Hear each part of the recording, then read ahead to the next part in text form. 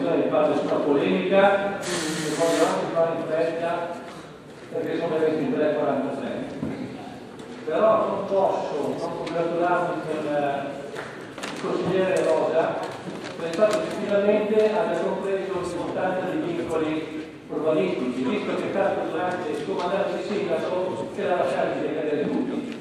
Mi ricordo ancora come se fosse questa sera, il giorno in cui fece la domanda, su pose il problema e si meravigliò di questo fatto come se fosse una scomunica la situazione. Mi fa piacere che si sia rivenuto, l'importante non è sbagliare, non sbagliare ma capire come si è sbagliato. Per quanto riguarda il momento di questa sera, io voglio dire molto brevemente la mia opinione. E cioè, questa è la allora, per quanto riguarda questa legge, io vorrei dire chiaramente la mia opinione.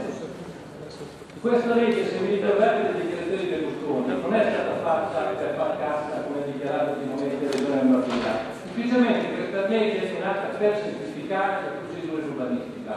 Se andate a rivedere le interviste di sei mesi anno fa di Berlusconi, questo è l'obiettivo. Obiettivo che condivido anch'io.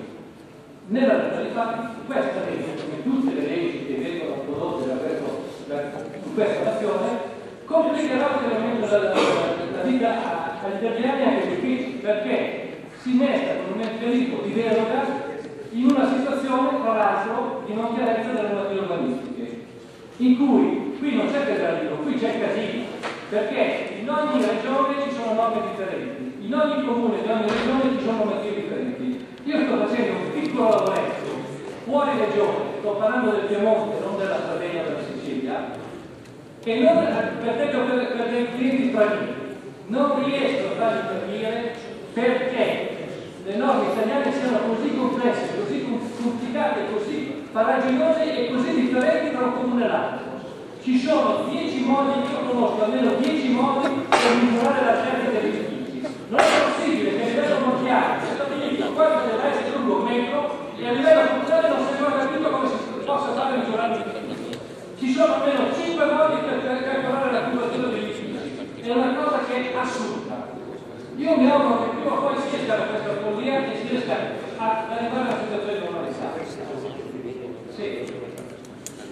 Ha sempre che queste discussioni possa avere l'onore di vedere la partecipazione dei dirigenti. Anche questo è un altro aspetto che non potrei descrivere a nessuno perché non ci crederebbe nessuno.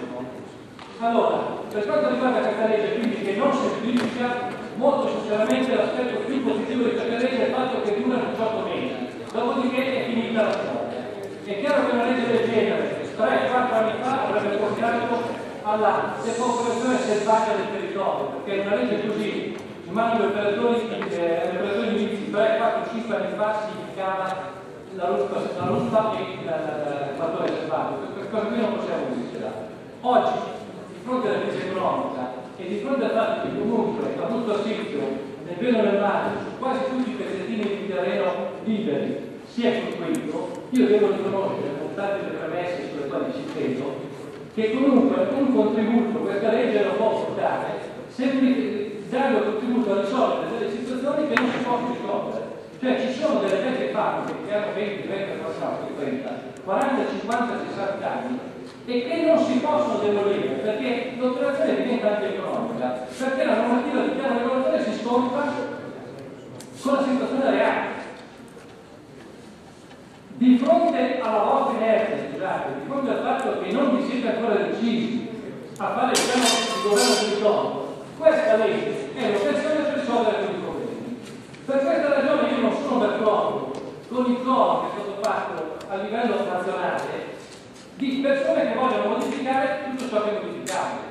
Cioè, rendiamoci conto, è stata fatta una legge fatta, ogni ragione l'ha modificata come ha voluto lei.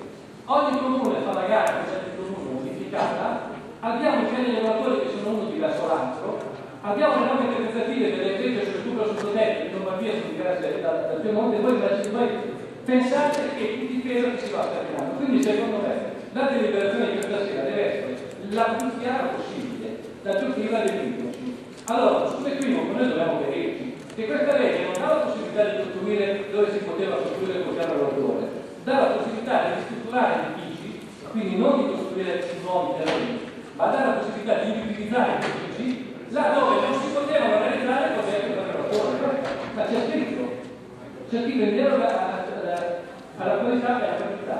Non dobbiamo vergognarci di queste cose, ma è naturale che si possa recuperare il patrimonio edilizio. È chiaro che vedere. Allora, arrivo a dunque. Io grosso sostanzialmente, sostanzialmente, e non mi capita spesso, anche perché ho lavorato, ho lavorato assieme a voi nelle commissioni, ho condiviso nella sostanza buona parte del testo approvato in commissione, anche se sarei stato più rigido dei centri storici su altre questioni che ho già sollevato, ma non sto a rifare la discussione.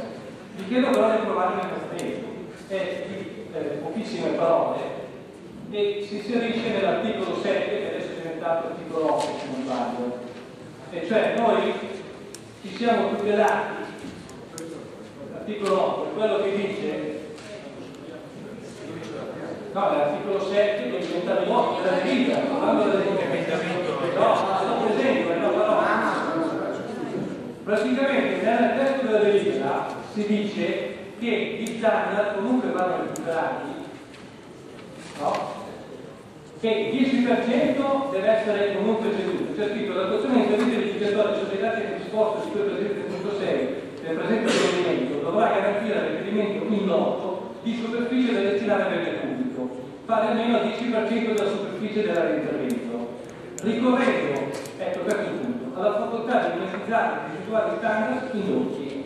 Allora, io innanzitutto apprezzo il fatto che qui siano stati inseriti gli standard, se non mettiamo questa questo testo ovviamente non, non c'è cessione di niente e quindi io sono d'accordo su su questo punto della delibera però proporrei di limitare la, la monetizzazione dello standard agli interventi piccoli allora, discorso tecnico vi farlo brevemente siccome nel piano regolatore le concessioni di edilizia semplici si possono dare per terreni siano a 3.000 m2 che vuol dire fare un edificio di 9.000 m3 io proporrei di limitare il fatto che non si debba e si possa monetizzare lo Stato non c'erano, solo gli interventi siano 9.000 metri cubi. Anche perché da quattro calcoli approssimativi che ho fatto, sopra i 9.000 metri cubi viene una cessione di area di circa 2.400 metri. E penso che anche a livello progettuale possa uscire anche comunque un buon parcheggio un buon parco pubblico. Riconosco che per gli interventi inferiori ci siano delle cessioni di area che sono dei quarti che sono convenienti sia per chi riceve che che per chi riceve. Però secondo me su 9.000 dopo 9.000 metri cubi è giusto non mettere la monetizzazione ma mettere la cessione dopo dell'area. Quindi l'emendamento e la legge la parte dello scorso non L'emendamento 9.000 metri cubi sono edifici di 3.000 metri quadrati di loro, sono padronati.